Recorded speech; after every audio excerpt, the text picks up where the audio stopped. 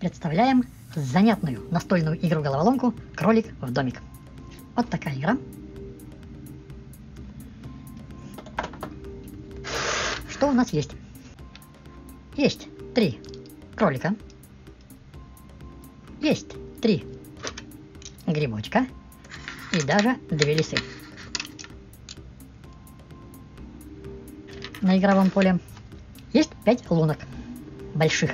Это домик для кроликов. И лунки для ходов. В чем смысл? Смысл в том, чтобы загнать кролика, чтобы кролик сам забежал в свой домик. Есть вот такая книжка с заданиями, где написаны все задания. И здесь очень много. Вот тут этих заданий аж 60 штук. И что интересное, ответы на все задания, как и что делать, куда прыгать и ходить. Кролик может ходить, только даже не ходить, а прыгать, только через какое-то препятствие. Эти препятствия может быть или грибочки, или леса. Вот так ходить кролик не может.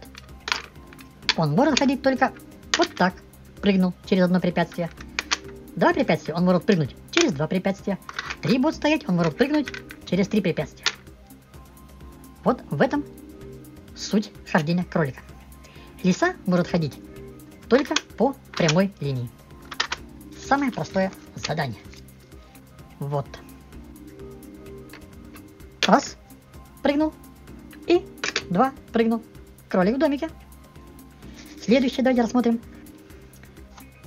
Каким образом будем делать? Если я вот так вот загоню сюда в домик, то этот кролик уже никуда ходить не может, прыгать не может. У него препятствий никаких нету перед ним. Значит, он только стоит на месте. Значит, я схожу вот этим кроликом вот так и вот так. Я же могу прыгнуть? Могу.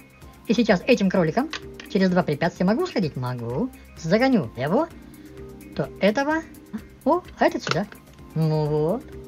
Отлично. Вот такая комбинация, как шахматы прямо. Можем сходить лесой вот сюда.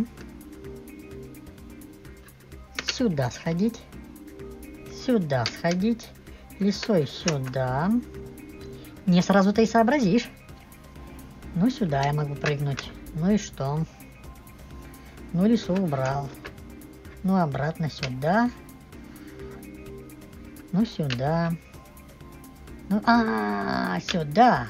Вот отсюда вот. О, все, нашел решение. Сюда, сюда. Потом лиса сюда встает.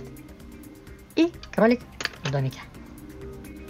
Да, головоломка, мозги поднапрячь придется, если их не сломать.